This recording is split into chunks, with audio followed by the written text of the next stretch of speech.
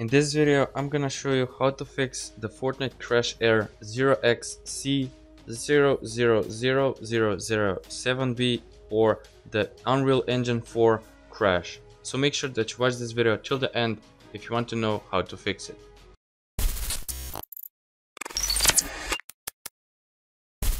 Before we start, I just want to say subscribe to my channel and like this video if it helps and let's start. So the first step is to open this PC. Go to local disk C. Go to program files x86. Open the Epic Games folder. Open the DirectX Redist folder.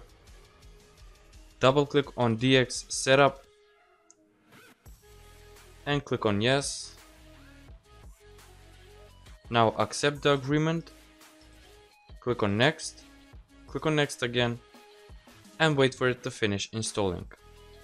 Okay, and now it says that the installation was complete. Click on finish and that's it for the first step. The second step is to go back to local disk C. Open the program files folder now. Open the Epic Games folder open the Fortnite folder, go to Fortnite game, go to binaries, go to Win64, open the BattlEye folder,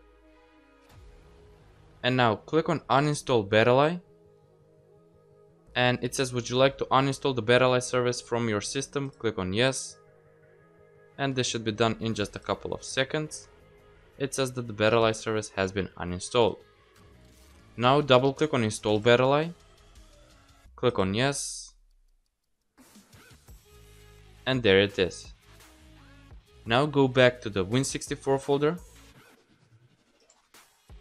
Now open the Easy Anti-Cheat folder and double click on Easy Anti-Cheat Setup.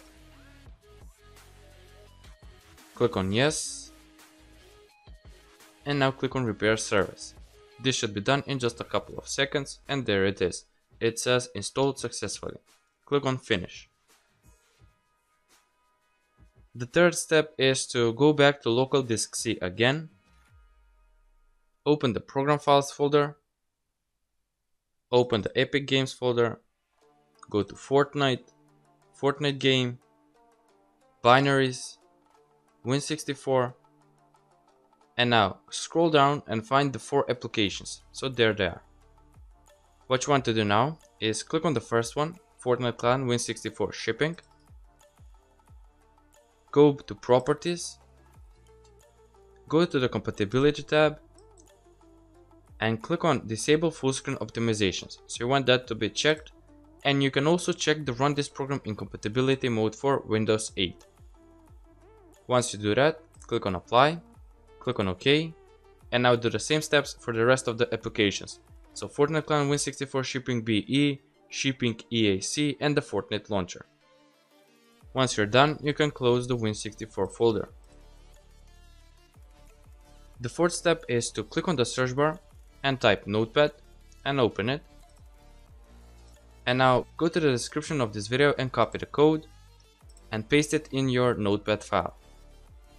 Now click on file, click on save as save it on your desktop and name it fix.reg. So the name doesn't really matter as long as the extension is .reg. Once you type that, what you want to do is click on save, close the notepad file and double click on the new registry file on your desktop. So it should look like this. Double click on it, click on yes, it says are you sure you want to continue, Click on yes again and it says that the keys and values contained have been successfully added to the registry. Okay. The fifth step is to open the Epic Games launcher. Go to library.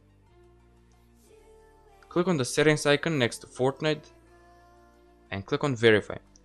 This will verify your game files. If any of them are corrupted or missing, it will just re-download them.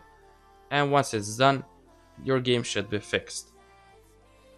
If that didn't work, then the sixth step and the last step of this video is to go to Unreal Engine, click on install engine click on install again under the newest version. So for now it's 4.22.3 accept the end user license agreement.